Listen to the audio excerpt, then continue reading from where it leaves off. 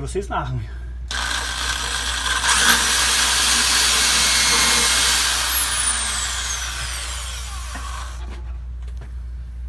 Aí, ó. Apreensão da Polícia Rodoviária Federal, Delegacia 75 com apoio da Delegacia 74. Possivelmente crack, cheiro aqui de crack aparente, na quinta roda de uma carreta. Mais, mais informações chegando posteriormente aí. saiu também uma bexiga de festa enrolada, uma, uma látex na broca. Isso aí.